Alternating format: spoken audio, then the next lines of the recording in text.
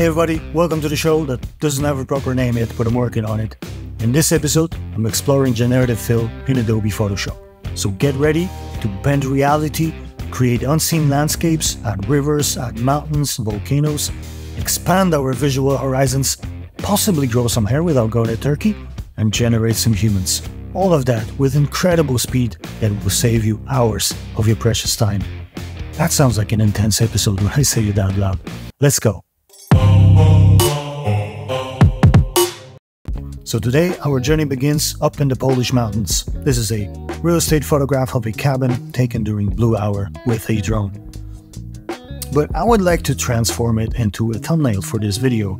So I'm going to expand the image and also change its proportions with a crop tool. Now I'm going to select the empty areas with a marquee tool, slightly overlapping with the content of the image once you have an active selection, a text entry prompt box appears in this contextual taskbar. This is where you describe an object or a scene that you would like to generate with Photoshop. But you can also leave it empty. And when you do so, Photoshop will fill in the selection based on the surroundings, which is exactly what I'm going to do in this case because I'm just expanding the image so it will know very well what to do. Just click generate and this is uploading to the cloud and in return we will get three different variations. This is number one. Let me just zoom in slightly. This is number two and number three. They are all pretty similar. I'd like to create maybe more of an intimate mood in this photograph, so let's get rid of the neighbor's house and this one as well. There are actually three structures here. So I'm just going to make a loose selection and this time I'm going to type in forest so it covers this white hole with a forest, hopefully. An excellent job. Again, every variation looks nice. I've mentioned this photograph was taken up in the mountains, but I don't see any mountains in here. So let's fix that. Uh, I think I'm going to create some kind of a valley shape here. And again, I'm slightly overlapping with the content of an image. And this time I'm going to type in mountains. Alright, this is incredible. Wow. Every single variation is really nice. So to finish up this image, I'm just going to replace the sky and for that, I am using one of the skies from my uh, collection of 360 skies, uh, photographed with medium format camera, created specifically for real estate and architecture.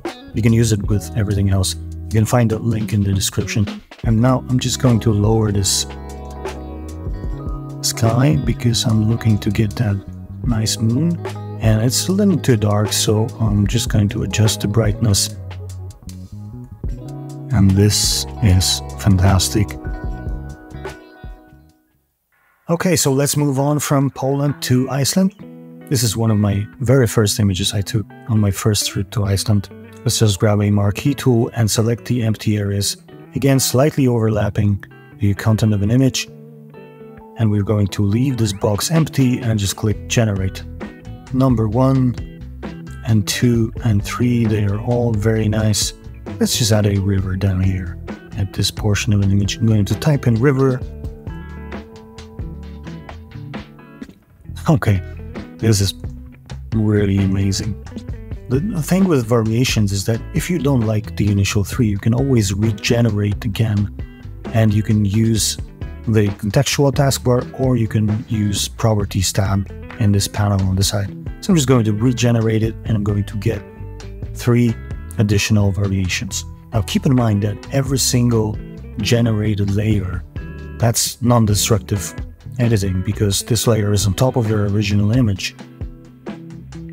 Let's go with this one, but now I'm not trying to regenerate a new layer. I'm just trying to remove the uh, reflections on the water and maybe the stone. Let's see if Photoshop can figure it out without any instructions. Okay, let's go with number two. And since this is in Iceland, I think we are missing a volcano. Wow, This is really nice. Oh yes. This one as well. So to finish up with this image, let's just remove a bunch of these horses and just leave this one guy.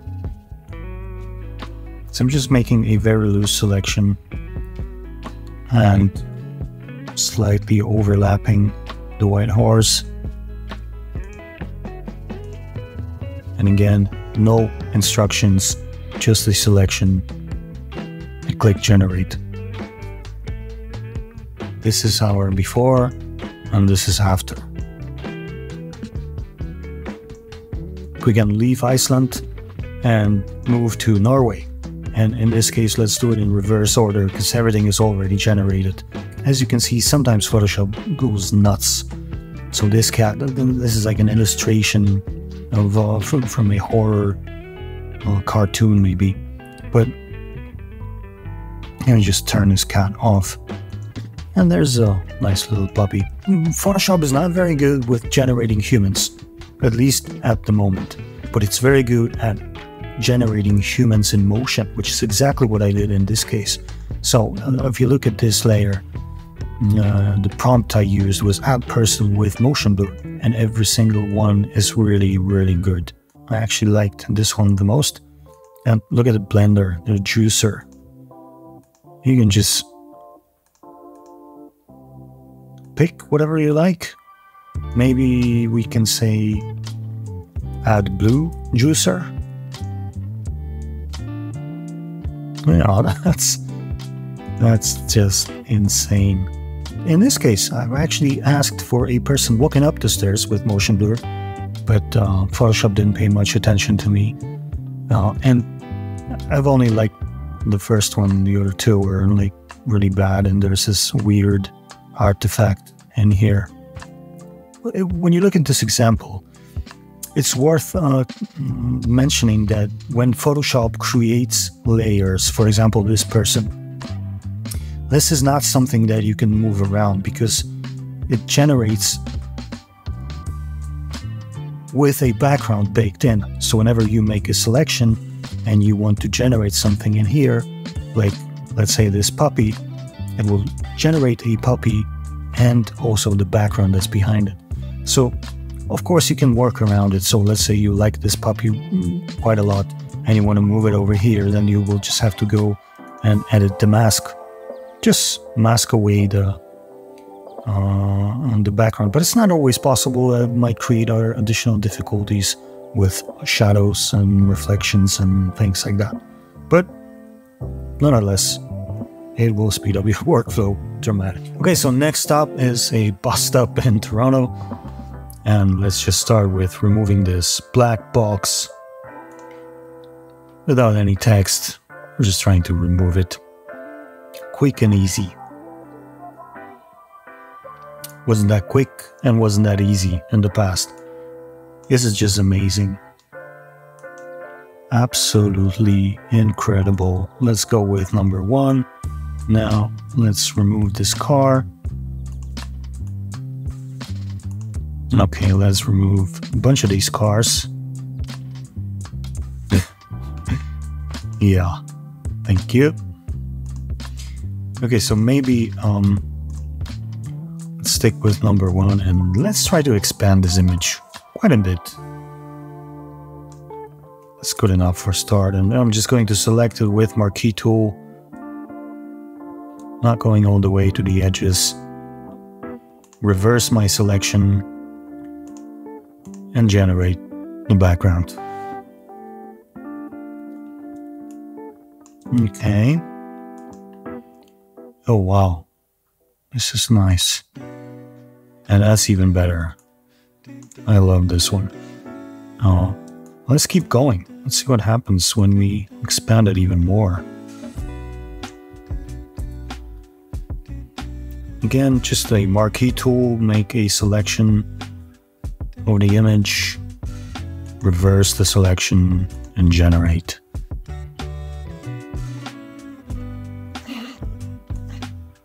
Okay. One more time.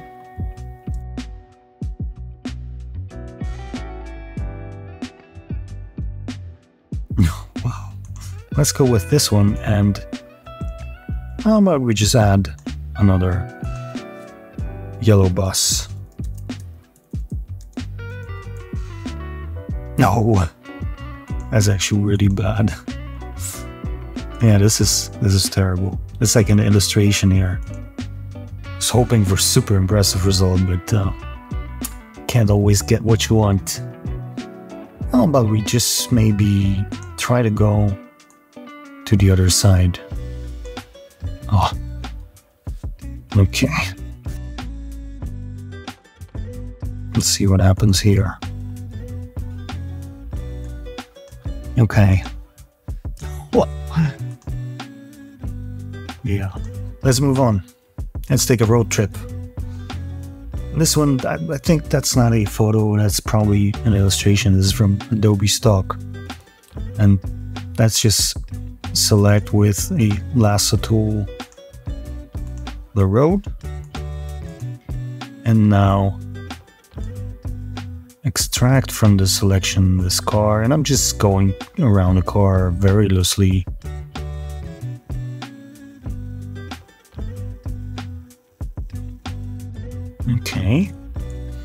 And let's type in road. See what happens. Well, since this was an illustration, I think we can just go with with number one and Let's see if we can put some light in here. Uh, headlights on.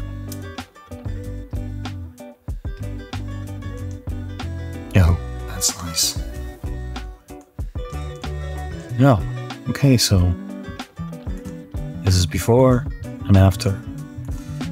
A couple of seconds. This is an example that shows how Photoshop is taking the lighting into account and it's doing an amazing job. Not to mention that hair was always something that was very difficult to render, especially like in animation. Uh, and this is just incredible. I mean, maybe that's slightly over the top. No, thank you. You can remove objects and you can remove people.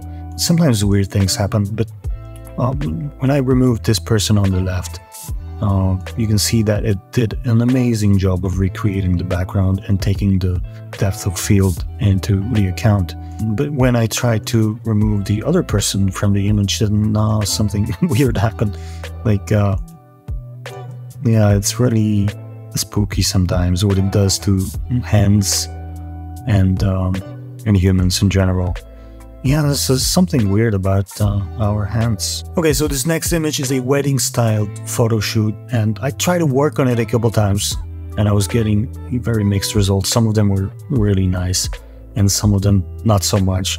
So um, let's see what we can get in here. I'm just going to reverse the selection and generate the background.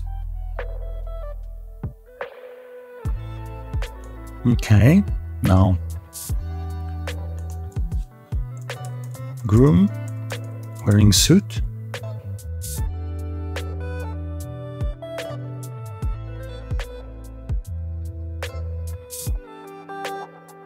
Let's remove chairs.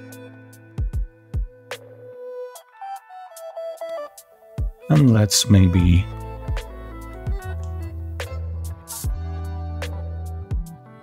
change the haircut. This is absolutely incredible. Look at that. Um, just show you my previous results, which I was very happy with. And I've also applied some uh, depth blur with neural filters. And that was the result I liked the most. And you can actually see a different type of hair in this one. This is absolutely amazing. Look at that.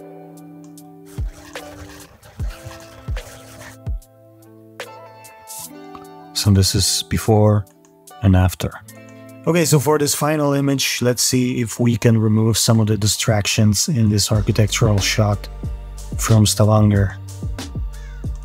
So I'm just making a loose selection around those people. I like to have people in my architectural shots, but I prefer to have a little more control over them.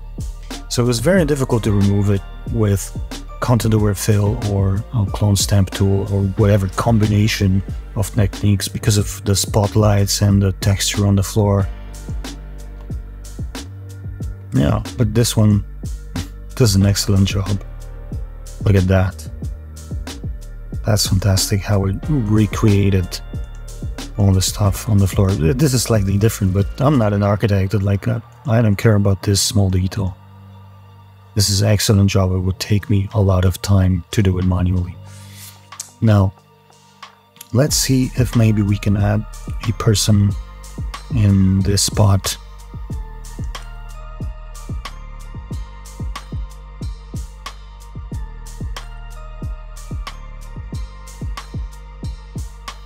Okay. This guy looks a bit like a zombie. Let's try one more batch. But look at the shadows. He's like, he's in the spotlight. So that's pretty amazing.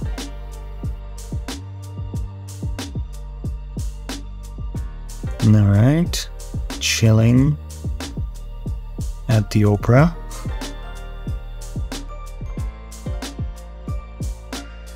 Okay, I think we can uh, leave it like that.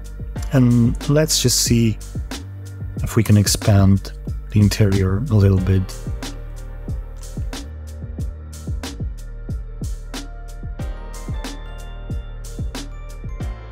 That is pretty nice. Something to work with. Okay, so that's it for today. Do not generate and drive, and uh, I'll see you in the next video.